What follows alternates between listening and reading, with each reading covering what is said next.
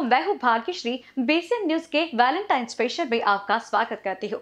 दुनिया का हर बंधन प्यार से बना होता है। अगर प्यार ना हो तो ज़िंदगी में खुशियाँ नहीं हो सकती है।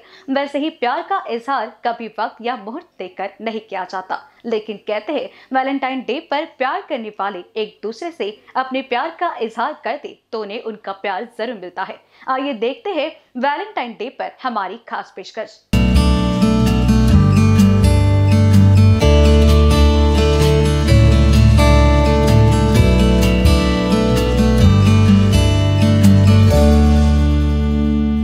वैलेंटाइन डे हर साल 14 फरवरी को मनाया जाता है। यह प्यार और रोमांस का त्योहार है। इस दिन लोग अपने प्रेमी प्रेमिका या पार्टनर को गिफ्ट और संदेश भेजते हैं।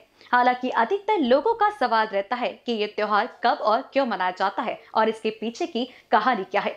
यहाँ हम आपको इन्हीं सारे अनसुलझे सवालों के जवाब दे रहे हैं। जानते हैं वैलेंटाइन डे के पीछे की असली कहानी क्या है। वैलेंटाइन डे संत वैलेंटाइन के नाम पर मनाया जाता है।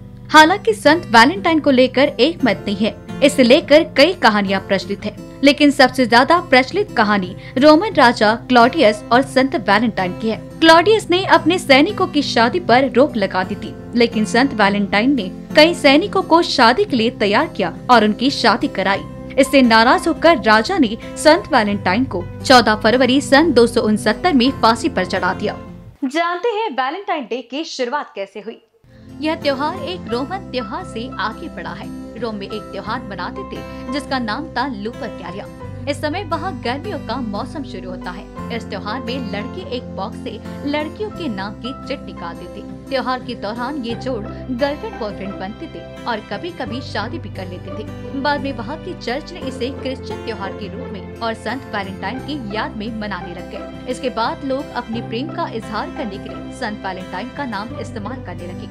चलिए जानते हैं कैसे मनाते हैं वैलेंटाइन डे इस त्योहार को आप घर में बने कार्ड्स मिठाई, गुलाब रोमांटिक डेट दोस्तों के साथ समय बिता कर मना सकते हैं। इसके अलावा भी इसे मनाने के कई सारे तरीके हैं। आप रोमांटिक डिनर या लंच पर भी जा सकते हैं, या किसी रोमांटिक स्थान पर समय बिता सकते हैं। ये त्योहार केवल जोड़ों के लिए नहीं, बल्कि प्यार के लिए मनाया जाता है। वो प्यार आपका किसी के लिए भी हो सकता है।